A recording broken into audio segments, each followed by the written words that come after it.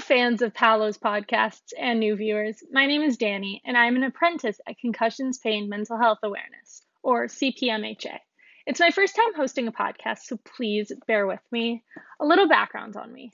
I'm a rising senior at the University of Michigan in Ann Arbor, majoring in biopsychology, cognition, and neuroscience, and minoring in community action and social change. I'm going to be staying at the University of Michigan in Ann Arbor to get a master's of social work in interpersonal practice in integrated health, mental health, and substance abuse next fall. My dream job is working with athletes and helping integrate mental health into their daily lives. I'm also a crisis counselor at Crisis Text Line, which is a national text line so people in crisis can text in, which helps me gain insight into crisis management and critical situations. This leads into today's topic for the podcast coping strategies. Look, it isn't easy to talk about mental health and how people cope with it. Unfortunately, the stigma around mental health is still there. To start out this conversation, I'm going to lead you all through a breathing technique called 54321. I'll talk a little bit more about breathing techniques and 54321 after. So take a deep breath. Name five things you see in the room you are in. I'm going to do it along with you, so here's what it looks like. I see a stuffed bear in the corner. I see the sofa I'm sitting on. I see a beanbag. I see my water bottle. And I see the paper in my hand. Okay, take another deep breath. Name four things you can touch in the room you are in. I can touch the paper and the binder that are on my lap for an exercise later. I can touch my water bottle. I can touch the sofa I'm sitting on and I can touch my headphones. Good job. Deep breath again. Name three things you can hear in the room you are in. So I hear my own voice, I hear the air conditioning, and I hear someone upstairs in my house walking. So good job if you're doing this along with me. Another deep breath. Name two things you can smell. If you can't smell anything, name two things you like the smell of. Right now in the room I'm in, there's not really much to smell. So, two things I like the smell of are coffee and the ocean. Keep going. One more deep breath. Name one thing you can taste. If you can't taste anything, name one thing you like the taste of. I recently brushed my teeth so I can still kind of taste my toothpaste. It's very minty. So, good job. That was 54321. So, breathing exercises like 54321 are commonly used coping strategies. 54321 I use a lot when I'm feeling overwhelmed or just need the distraction. A lot of people use 54321 during a panic attack to try and help ground them to come out of the attack. There are tons of videos, meditation techniques, apps, and even gifts for different breathing exercises. People use coping strategies for a variety of reasons. People with mental illnesses are commonly thought of the only ones who need coping skills, but that cannot be farther from the truth. Everyone needs to find a way to get their emotions out and release negative energy. Everyone experiences bad days or experiences something negative. Throughout this podcast, I'll give some examples of coping strategies that I use or ones that my friends and family say benefit them. Just like 5432.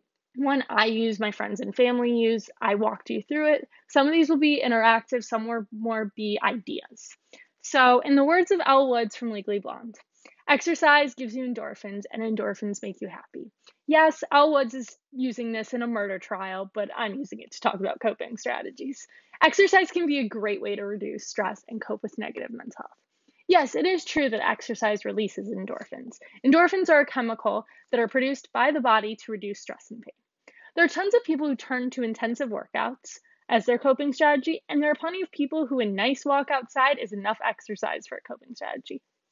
I like to say that coping strategies are like exercise. You have to find the perfect balance that helps you feel good.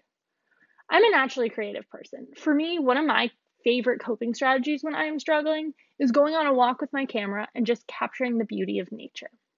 Photography is definitely an outlet for me. However, my sister loves to paint and draw. I have no ability to draw or paint the way she does. She's incredible. And she can take pictures, but I would say I'm the more talented photographer of the two of us. So that's an example of figuring out what works best for you. Using creativity to get your emotions out is a huge method that lets use that many use. Let's do a creative coping activity right now. Get out a piece of paper. I'm going to do this with you, so you're not alone in trying this. So we're going to draw five balloons. By the way, I'm not an artist by any means. One, two, three, four, oops, five.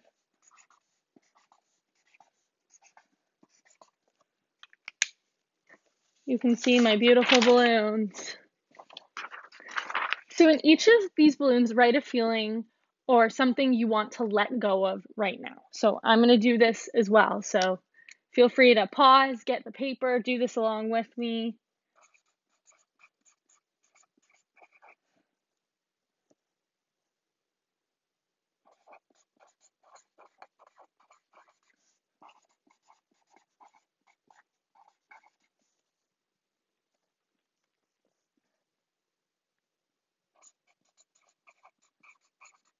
It sometimes takes time to come up with ideas of what to write in these. So it's like something you want to let go of, something more negative. Um,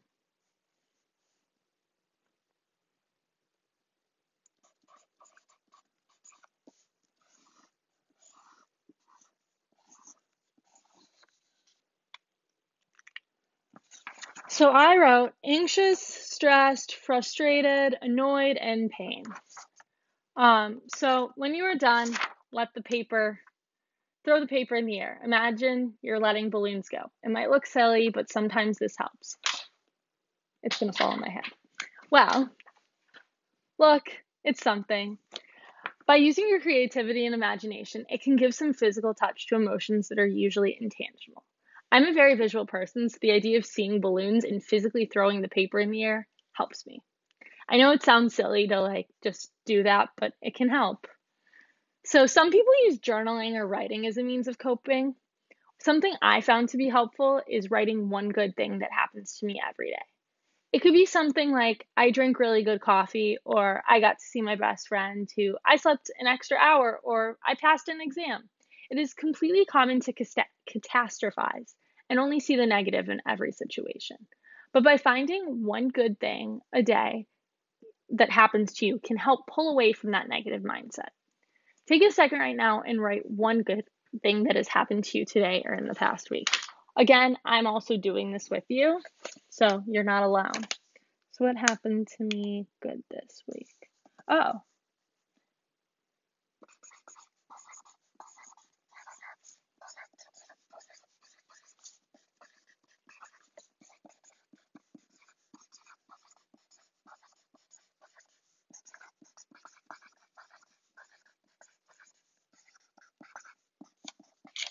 So this week, my one good thing is I made chocolate chip banana bread and I got to eat it. So, you know, something as simple as that. You know, it's hard to see the good sometimes when you're having a really bad day. But by doing this, I kept a journal for now it's about two years of just good things that happen. And they are as simple as what I said from passing an exam to just getting to hang out with friends. So for me, one skill I use for self care frequently is consuming media.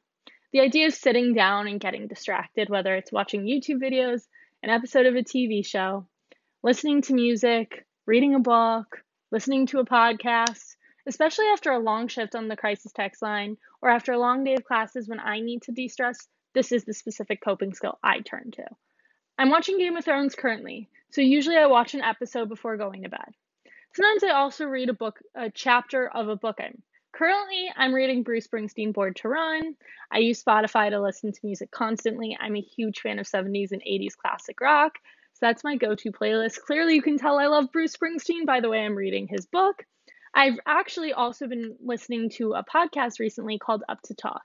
Up to Talk was started by two recent college graduates, one of which is one of my really good friends, and they talk about everything from college drinking pressures to nutrition and a lot of different things. Since it's relatively new, there aren't a lot of episodes. So I find myself looking forward to the next episode. This idea of looking forward and being excited about something in the future itself is a coping strategy. This also goes for an episode of a television show that's on live TV, the idea of looking forward to the next week.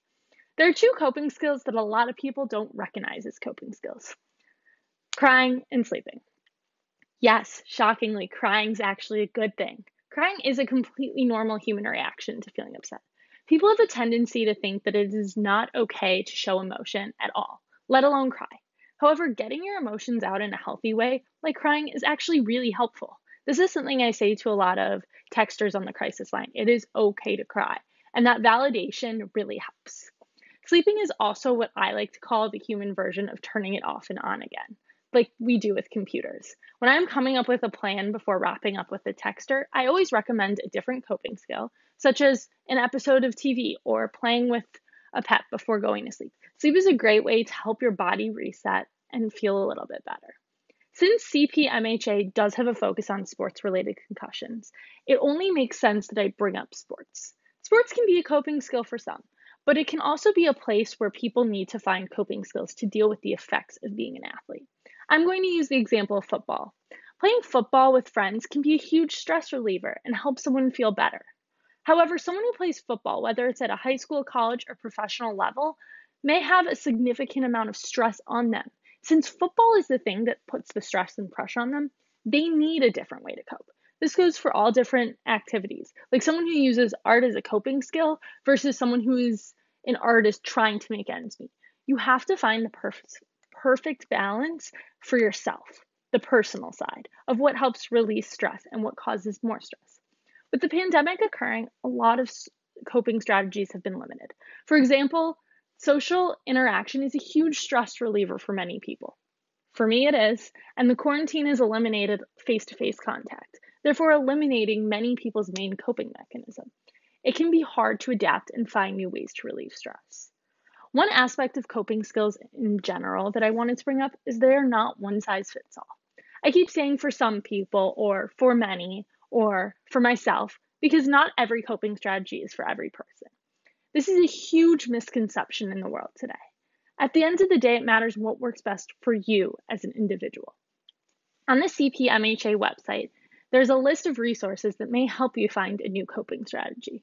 Take your time and explore different options. If you are in need of immediate help or need to talk to someone, call the National Suicide Prevention Hotline at 1 800 273 TALK or 1 800 273 8255 or text hello to be to 741 741 to be connected to a crisis counselor from Crisis Text Line. Who knows, you might even be connected to me. You won't know. It's all anonymous. But thank you all so much for listening. Please check out our website, cpmha.com our Facebook page, Concussions Pain Mental Health Awareness, our Instagrams at CPMHA Awareness. So CPMH Awareness and at Paolo's Podcast, as well as subscribe to us on YouTube, Concussions Pain Mental Health Awareness. Feel free to send other topics and questions to info at cpmha.com. Have a great day. Take care of yourself. Bye.